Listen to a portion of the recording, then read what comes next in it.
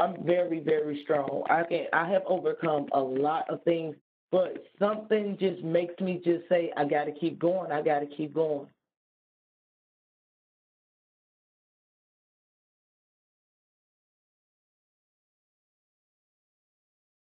I've struggled. But Lift DC has helped me substantially. So without this help, I don't know what I would do. I would probably be close to being homeless or my family not have any of this or be selling half the things we have to make sure we're okay. During the COVID 19 pandemic, Mathematica conducted interviews with workers in low wage labor market to better understand how they experienced and navigated the pandemic. The workers were participants of four different programs in six locations in the United States.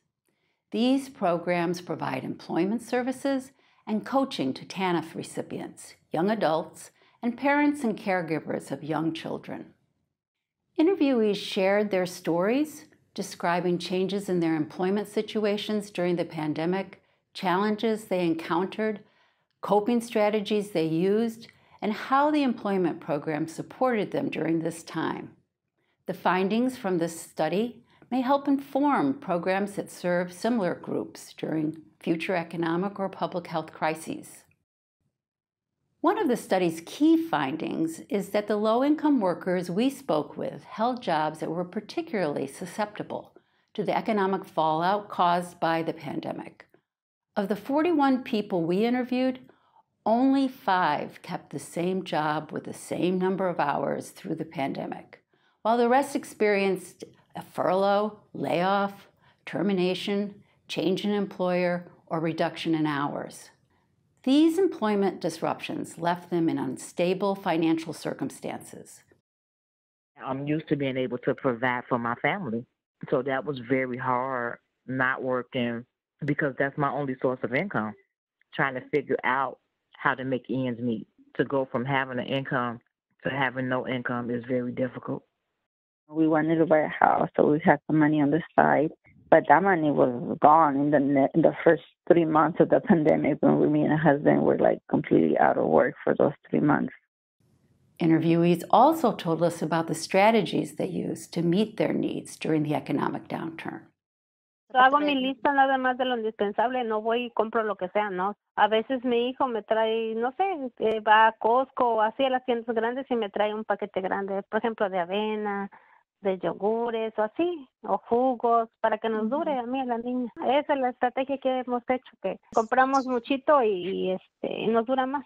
Interviewees also noted that some of the employment programs provided additional financial support to help them meet their needs, highlighting a strategy that programs could adopt in future economic downturns. I have a car payment. My registration came due on my car payment, and because I owe money to the IRS, there was actually a hold put on, so I couldn't register my vehicle. They actually helped cover over half of the expense necessary in order for me to be able to get past that hold. Despite the challenging circumstances workers faced, including increased caregiving responsibilities, they reported valuing their connection with staff at their employment programs and continue to engage with them. In a time of instability and uncertainty, program staff provided authentic human connection and steady emotional and moral support to the people we interviewed. They were everything to me. If it wasn't for them, I don't know where I'd be.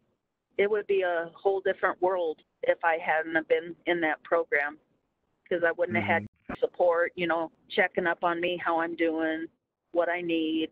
She got me food packages a couple times. I don't think I would have survived this whole thing without her. In addition to the relationships with program staff, interviewees valued that programs could connect them with resources in their communities.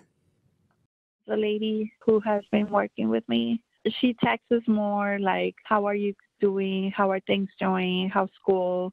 She's like very close, supportive and everything, making sure I have everything I need. And if there is something going on, like at a food bank or something in the community, she sends me a text and she's like, Hey, this is going on. If you want to go, I may not even be asking for help, but within within 24 hours, she has links to me or she has connected me with someone to contact. And it, it's just amazing. I really couldn't ask for anything more.